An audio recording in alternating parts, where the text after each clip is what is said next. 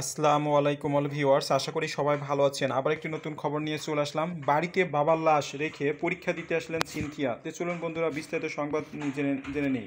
বাড়িতে বাবার লাশ রেখে এসএসসি পরীক্ষা অংশগ্রহণ করলেন সিনথিয়া।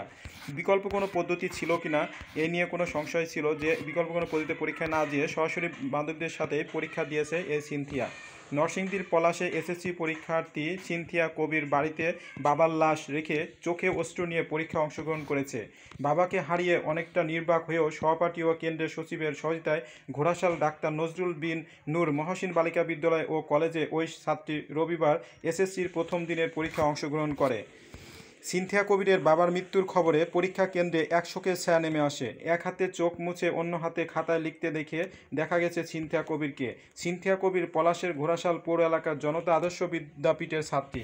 রবিবার ফজরের নামাজের পর সিনথিয়া কবিরের বাবা হুমায়ুন কবির ঊনপঞ্চাশ বছর বয়স মৃত্যুবরণ করেন। হুমায়ুন কবির উপজেলার ঘোড়াশাল পৌর এলাকার পলাশ কুঠির পাড়ার এলাকার মৃত মোকলেশ সর্দারের ছেলে। নিহতের স্বজনরা জানান, হুমায়ুন কবির হার্ট অ্যাটাক করে রবিবার ভোরে নিজ বাড়িতে মৃত্যুবরণ করে। মৃত্যুর পর বাবা হারা সিনথিয়া এসএসসি পরীক্ষা দিতে ঘোড়াশাল নূর মহসিন বালিকা বিদ্যালয় ও কলেজের পরীক্ষা কেন্দ্রে পরীক্ষা দিতে বসেছে। ডাক্তার নূর মহসিন বালিকা বিদ্যালয় ও কলেজের অধ্যক্ষ ও পরীক্ষা কেন্দ্রের কেন্দ্র সচিব রিনা নাসরিন জানান, পরীক্ষার্থী সিনথিয়া কবিরের বাবার মৃত্যুর বিষয়টি আমরা অবগত আছি। তার জন্য কোনো বিশেষ ব্যবস্থা পরীক্ষা নেওয়া হচ্ছে না।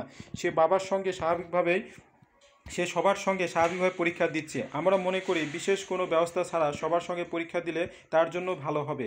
আমরাও তাকে সান্ত্বনা উৎসাহ দিয়েছি পরীক্ষা দিতে এবং তার দিকে সার্বক্ষণিক নজর রাখছি। তে অবশেষে বাবার লাশ বাসায় রেখে পরীক্ষার হলে পরীক্ষা দিলেন এসএসসি পরীক্ষার্থী সিনথিয়া। এ বিষয়ে আমাদের সবাই তার প্রতি সহানুভূতি রইল। তো সবাই ভালো থাকুন। আল্লাহ হাফেজ।